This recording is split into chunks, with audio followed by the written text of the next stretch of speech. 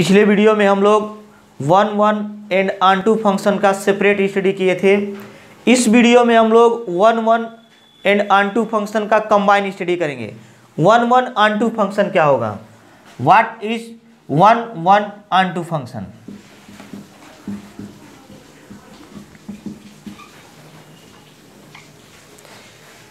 यदि कोई function one one के साथ आन टू भी हो तो उसे one one onto function बोलेंगे वन वन फंक्शन कैसे डिफाइंड था वन वन फंक्शन का ग्राफ कैसे होता था यदि एक्स एक्सिस के पैरल लाइन ड्रा करने पर कोई भी लाइन ग्राफ को केवल एक पॉइंट पर इंटरसेक्ट करे तो वह वन वन फंक्शन होता था और आन टू फंक्शन क्या होता था यदि ग्राफ का डोमेन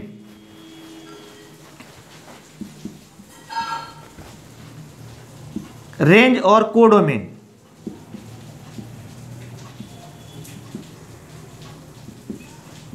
आपस में इक्वल होते थे तो वह फंक्शन अन टू फंक्शन होता था तो यदि कोई फंक्शन इन दोनों कंडीशन को सेटिस्फाइड करे वन वन भी हो और साथ ही साथ आंटू भी हो तो उसे वन वन आंटू फंक्शन कहेंगे for example one one onto function से रिलेटेड कुछ क्वेश्चन सॉल्व करते हैं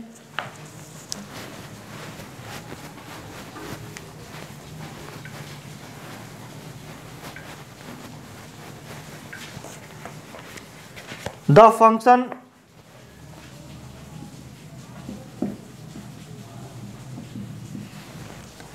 yup such that A to B defined by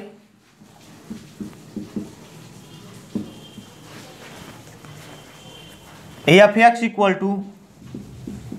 minus x square plus 6x plus 8 is a bijective function.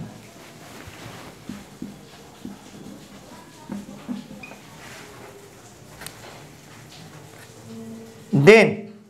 find two value of A and B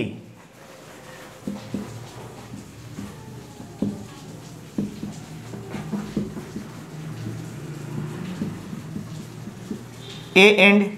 B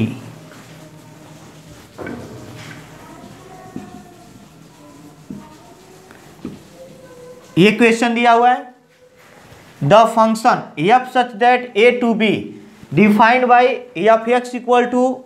minus X square plus six X plus eight is a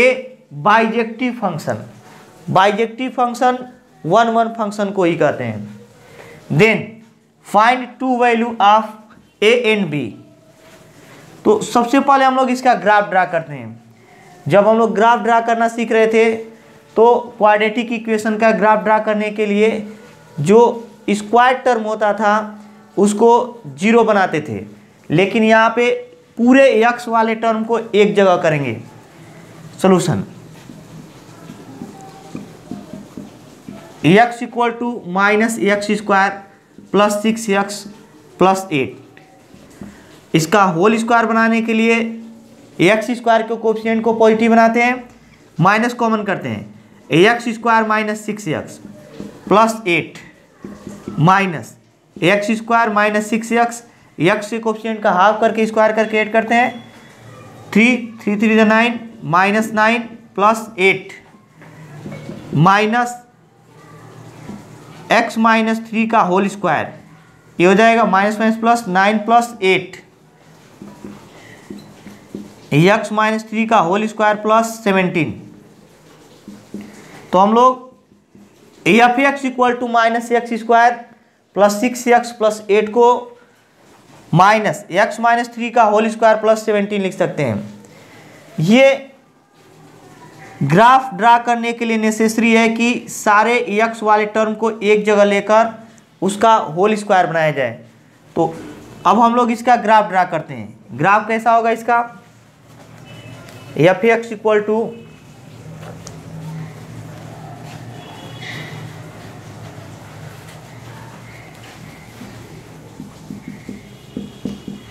minus X square plus six X plus eight equal to हम लोग लिख सकते हैं minus x minus three का whole square plus seventeen तो जब हम लोग ग्राफ ड्रा कर रहे थे तो ग्राफ ड्रा करने के लिए स्क्वायर टर्म को जीरो बना देते थे when X minus three equal to zero square term को जीरो बनाए एक्स इक्वल टू थ्री और जब ये जीरो होगा तो उसके करस्पांडिंग एफ एक्स की वैल्यू कितनी होगी F X equal to Y equal to ये जीरो हो गया zero plus seventeen equal to seventeen तो ग्राफ थ्री का मास सेवेंटी से शुरू होगा अपवर्ड डायरेक्शन या डाउनवर्ड डायरेक्शन इसके लिए हम लोग एक्स स्क्वायर का कोप्सेंट देखते थे एक्स स्क्वायर का कोप्सेंट क्या है निगेटिव तो ग्राफ की डायरेक्शन में जाएगा डाउनवर्ड डायरेक्शन में तो इसका ग्राफ होगा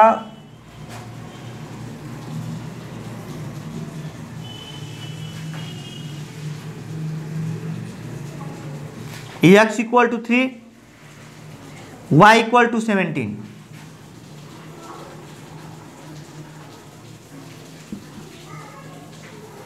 three comma seventeen से ग्राफ डाउनवर्ड डायरेक्शन में जाएगा तो इसको हमें बनाना है one one and onto ये देखा जाए तो वन वन फंक्शन नहीं है क्यों क्योंकि यदि हम लोग एक्स एक्सिस के पैरल लाइन ड्रा करें तो यह ग्राफ को दो पॉइंट पर इंटरसेक्ट करेगा तो वन वन सबसे पहले बनाते हैं उसके बाद आन टू बनाते हैं ये ग्राफ है y equal to minus X square plus six X plus eight का इस ग्राफ के हेल्प से हम लोग इस फंक्शन को वन वन भी बनाएंगे और वन टू भी बनाएंगे सबसे पहले हम लोग देखते हैं वन वन बनाने के लिए क्या कर सकते हैं वन वन इसे दो तरीके से बनाया जा सकता है minus x equal to three के लेफ्टवर्ड डायरेक्शन में या राइटवर्ड डायरेक्शन में ग्राफ को छोड़ दिया जाए और एक डायरेक्शन के ग्राफ को रिमूव कर दिया जाए फॉर एग्जाम्पल यदि लेफ्ट साइड के ग्राफ को रिमूव कर दिया जाए तो remaining graph one one function को रिप्रेजेंट करेगा और ये ग्राफ वन वन फंक्शन को रिप्रेजेंट कर रहा है और आन टू होने के लिए इसका डोमेन को डोमेन रेंज के इक्वल होना चाहिए तो ग्राफ से क्लियर है कि इसका range minus infinite to seventeen होगा क्यों क्योंकि ग्राफ रेंज को रिप्रेजेंट करता है रेंज को बताता है जबकि फंक्शन को जब लिखते हैं तो ये डोमेन को और yup such that A to B में ए डोमेन को रिप्रेजेंट करेगा और बी को डोमेन को रिप्रेजेंट करेगा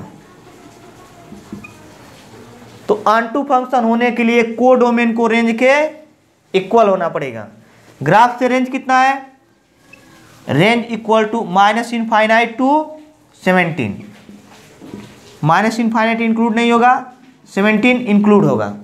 तो ये जो रेंज है यही कोडोमेन होगा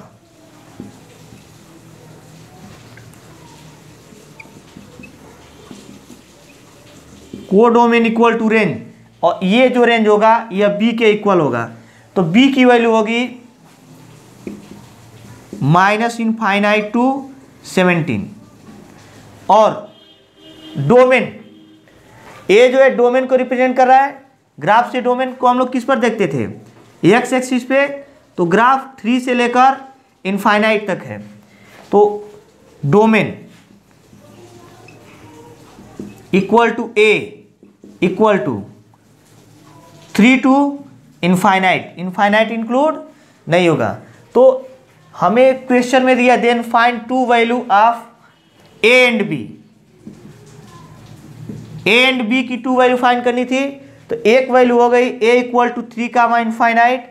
B equal to minus infinite to seventeen इस ग्राफ को हम लोग फिर one one onto function बना सकते हैं ग्राफ के राइट वर्ड डायरेक्ट डायरेक्शन को रिमूव कर देते हैं और जो लेफ्ट डायरेक्शन में ग्राफ बचेगा उसको रहने देते हैं फॉर एग्जाम्पल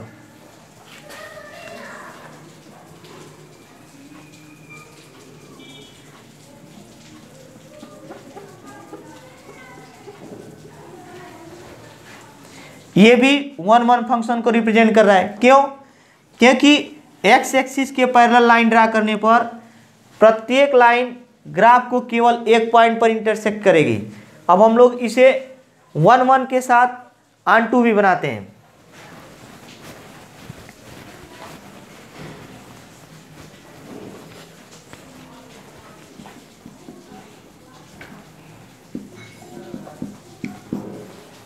तो यहां पे F such that A to B में डोमेन होगा बी कोडोमेन होगा और हम लोग ग्राफ से लिखते हैं रेंज और डोमेन रेंज को वाई एक्सिस पे देखते हैं तो ग्राफ कहाँ तक जाएगा माइनस इनफाइनाइट टू सेवनटीन और वन वन फंक्शन होने के लिए वाई एक्स एक्स एक्सिस के पैरल लाइन ड्रा करते हैं जबकि आन टू फंक्शन के लिए उसका रेंज देखते हैं और कोडोमेन के इक्वल करते हैं तो range equal to codomain equal to minus infinite to seventeen और डोमेन क्या होगा माइनस इनफाइनाइट टू थ्री तो ये जो वैल्यू होगी ये वैल्यू होगी बी की और A equal to domain domain कितना है ग्राफ से क्लियर है graph minus infinite to in three defined होगा माइनस इनफाइनाइट इंक्लूड नहीं होगा थ्री तो इस प्रकार हम लोग ए और बी की दो वैल्यू फाइंड कर सकते हैं